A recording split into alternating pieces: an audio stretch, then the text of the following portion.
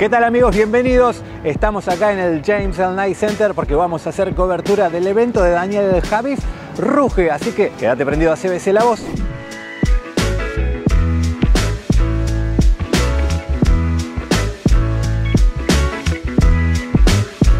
Amigos y amigas, estamos con Daniel Javif. ¿Cómo estás? El primer conferencista latino en llenar el Radio City en Nueva York. Felicitaciones. Muchas gracias, querido. Un verdadero placer. Bueno, un honor. Sin hacer spoiler. Porque hay espiritualidad, Sí. hay energía, Sí. hay videos, Sí. hay música. Hay ciencia. Hay ciencia. Hay psicología, hay biología. Ok, Ruge, sin hacer spoiler, para la gente que te está esperando en República Dominicana, en. Argentina, en Puerto Rico. Eh, mira, es, un, es una aventura salvaje. La verdad es una experiencia que apela muchísimo al poder del impulso, ¿no? A llevarte a cierto nivel energético que te permita confrontarte y hacer cambios de forma muy, muy, muy radical. Eh, es un mensaje de reconciliación, no es un mensaje específico para una religión, para una ideología, para una postura política, sino es un lugar bastante neutral. Claramente yo tengo una postura, ¿no? y, y- y hago voz de mis, de mis posturas, pero no estoy ahí para colocar mi postura en la mente de nadie, sino para debatir. Y hacemos una... una eh, bueno, un recorrido ¿no? por la mente del ser humano, por su corazón, por la parte biológica, por la parte científica eh, y sobre todo por la parte espiritual y se les otorga herramientas que son muy eficaces, muy básicas para poder intervenir ciertas situaciones complejas de la, de la vida. Esto no es una solución de microondas, ¿sabes? No significa que cuando vengan a partir de ahí la vida la tienen solucionada, no pero sí adquieren herramientas que sí se puede transformar profundamente después de esta experiencia, sí. ¿Por qué? Porque lo hemos visto, porque lo vemos en los hechos de las personas después de que vienen a este, a este mensaje. Y hay, y está la posibilidad de venir y de salir mejor de como veniste. Y eso ya es, un montón. ya es un montón ahora. Ya, ya es. Mira, si yo veo a un matrimonio salir tomados de la mano, me es suficiente. Si veo a un abuelo con su nieto abrazados, me es suficiente. Si veo a tres jóvenes sonreír y que tomaron la decisión de creer en ellos mismos, me es suficiente. Eso lo volvemos muy trivial y eso es lo más importante de la vida. ¿Qué ¿no? se siente estar trayendo esperanza, luz? Justo en este momento que en la ciudad de Miami tenemos, por ejemplo, el Festival Ultra y tenemos Spring Break, donde se ve tanta locura, tanta oscuridad, y la gente sigue creyendo en venir a escuchar a alguien que le trae esperanza. Bueno, es que el mal cada día es más profesional, ¿no?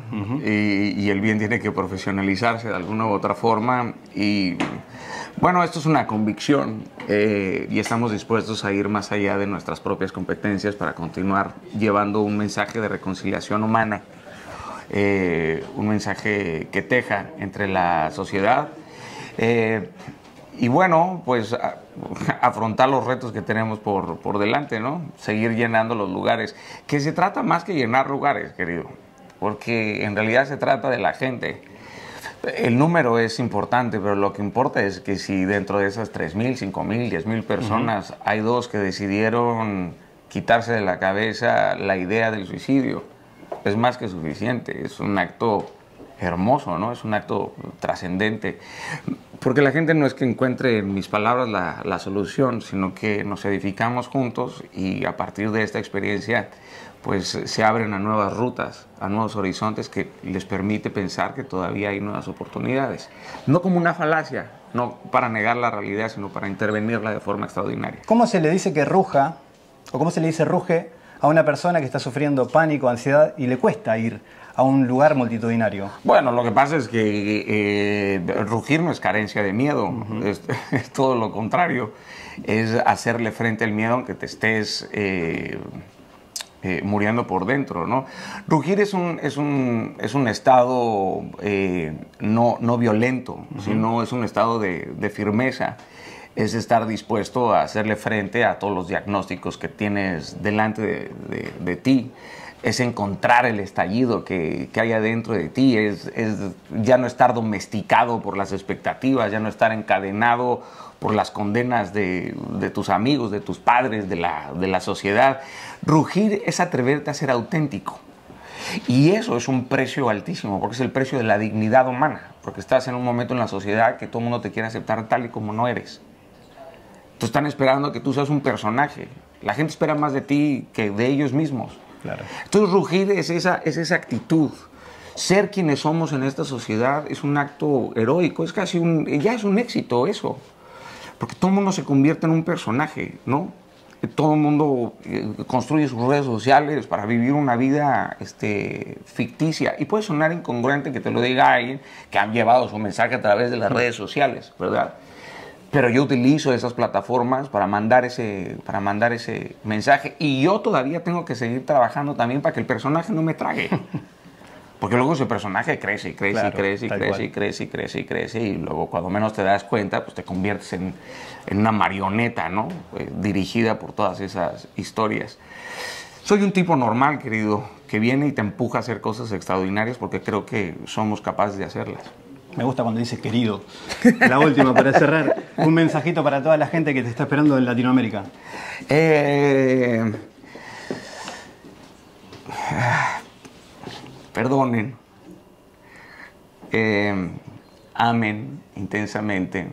Parecen cosas triviales, pero si le prestan atención a la profundidad de esas dos palabras, sirvan y rían y oren. Esas son las cinco cosas que propongo al final de la conferencia. Son, son cinco columnas sobre las cuales el ser humano podría construir su vida entera. Eh, contemplen, vivan serenos, no vivan obsesionados con la velocidad. Parecen palabras bonitas y, sin mucha profundidad, pero échenle coco. Ah, detrás de estas palabras hay extraordinarias joyas y profundizar en ellas nos permitirían claramente tener una vida mucho más llena de gozo y de bienaventuranza. Eso, eso, eso, eso. Y ojalá que ya no nos separen los kilómetros ni la indiferencia. Ojalá nos entrenemos en la empatía, que nos hace falta mucha, mucha, mucha en esta sociedad. Con eso, querido. Muchas gracias, querido. A ti, a ti, gracias. Doña Javi, pensé la voz.